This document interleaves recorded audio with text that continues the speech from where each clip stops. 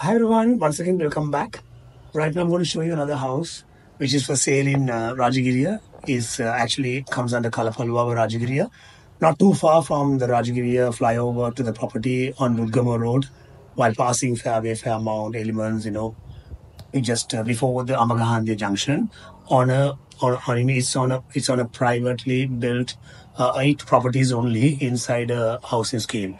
So this is a dead end roadway, and uh, the property kind of bordering the Diyawanna water here, which you can see. You may see in this, I've shown in the video tour. So there's a boundary wall.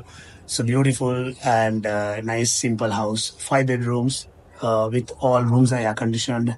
So it has master attached, and there are two more common washrooms, TV lounge, um, then the servants, uh, maids, quarters, washroom, as well as two parking space, a rear garden space, which is everything is covered in the video.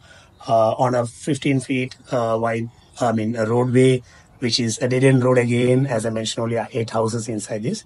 So it's beautiful, very lovely, lot of greenery and uh, good wind. So it's a very interesting property to uh, kind of take a look. So please do feel free to call me and we can organize a viewing as soon as possible. Uh, we're looking for a quick sale. Uh, so um, yeah, so those are the information which I need to share with you today at this property. See you on my next tour. Bye bye.